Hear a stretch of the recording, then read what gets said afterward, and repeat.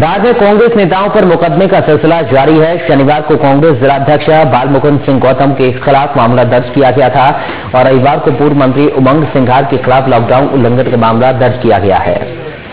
मंत्री पर मामला दर्ज होने के बाद प्रदेश की सियासत गर्मा गई है। पूर्व मंत्री उमंग सिंघार ने इसे बदले की कार्रवाई करार देते हुए कहा कि बीजेपी किसानों और मजदूरों से मिलने नहीं देना चाहती।